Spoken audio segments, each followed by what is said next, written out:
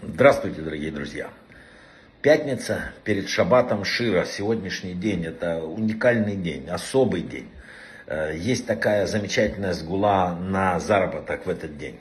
Положить крошки хлеба на подоконник там, или высыпать на балконе там, или просто вынести, чтобы птицы поклевали.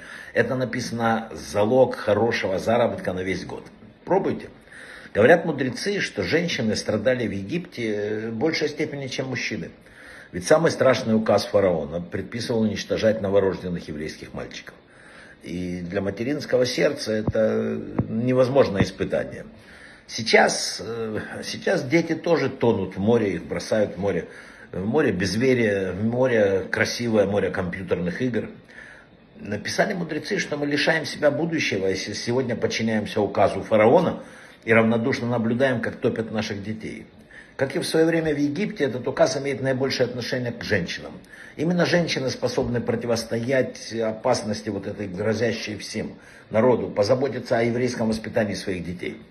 Кто, как не мать, больше всего общается с ребенком, и только она может спасать его, расскажет о благодарности Всевышнему, подобно пророчице Мирьям, остальным женщинам, вышедшим из Египта.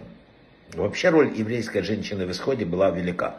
И мудрецы говорят, что именно в заслугу еврейских женщин э, были избавлены от рабства в Египте. Женщины были увереннее мужчин, и объясните, как Мидраж говорит, они бубны себе сделали, еще находясь в Египте, для, э, с которыми потом играли песни.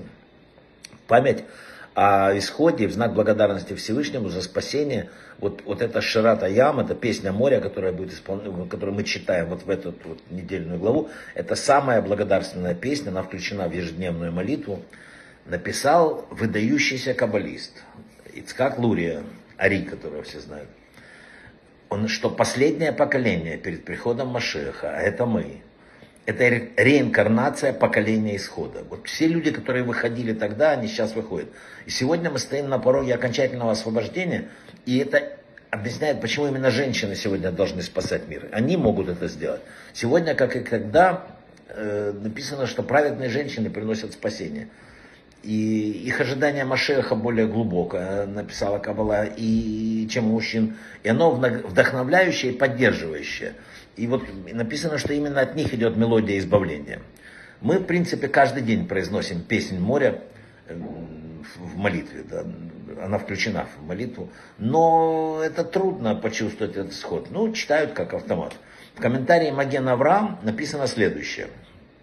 Песнь моря нужно произносить с огромной радостью, представляя в уме, как словно ты в этот день переходишь через море. И кто, происходит, э, кто с радостью ее произносит, написано, тому прощаются все грехи. Повторю, то есть тот, кто сегодня, вот, пойдет, точнее завтра будет это, прочтет э, в синагоге с радостью, совсем прощаются все грехи.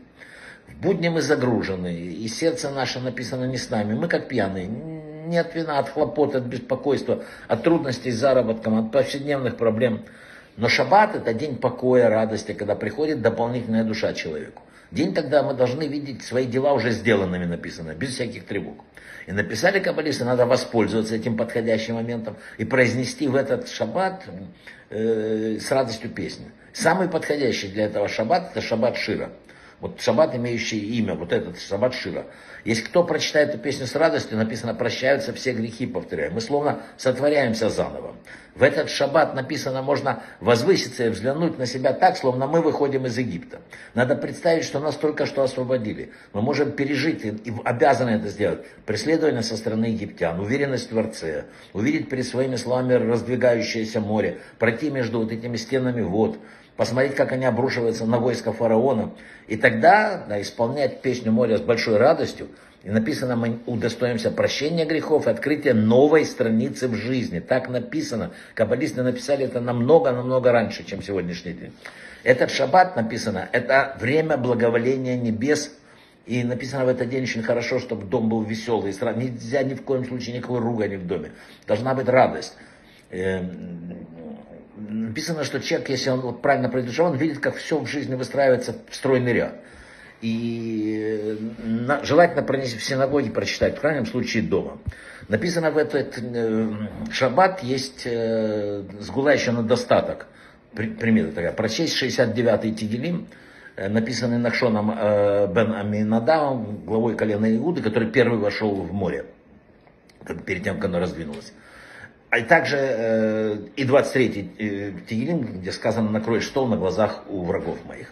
Сгула для, есть еще для шедуха, для пары, это э, шаббат, это пара еврейского народа, надо стараться шаббат очень помочь шаббату, вложить себя в шаббат, это замечательная сгула на хороший э, шедух. Повторяю, покормить птиц перед шаббатом и во время шаббата, это великая сгула этого шаббата. Брахава от слаха, шаббат шалом.